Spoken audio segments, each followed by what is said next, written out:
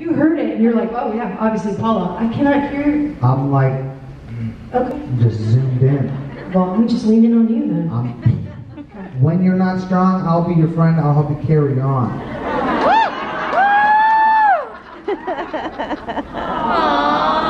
You're all right. You know that? You're all right, it's fun. I like you a lot. Hi. Hi, I'm Maddie. A with an M. A-D-Y. Addie, got it. I know. You jinxed me. Hi, Addie. Hi, Addie. We love you. And I was wondering, what's the hardest part about playing your characters? Getting killed off. Yeah. Yeah, that day, that day. I don't know if you You hear the story? heard the story.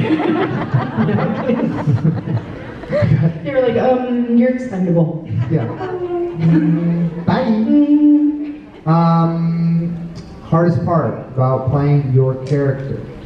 I'm gonna go with memorizing spells. Yeah, One. that's. I think so as well. Like- That was hard. And you know what it is?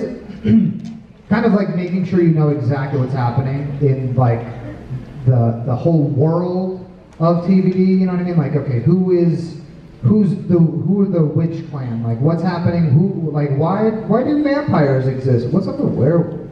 What's going on here? Like figuring out the actual reality of it. I did a lot of I did a lot of binging of all the things and like went on all the fan sites and was like, what's going on here? Way to get your facts straight. I think I dropped I got so I Okay. so. I I'm glad you were around. I was pretty lost. well, that's what I was telling them as well. Is like the other thing about being on set is you would leave for one episode and then you get the next episode and you're like, time out, no, no, no, what time out? What happened?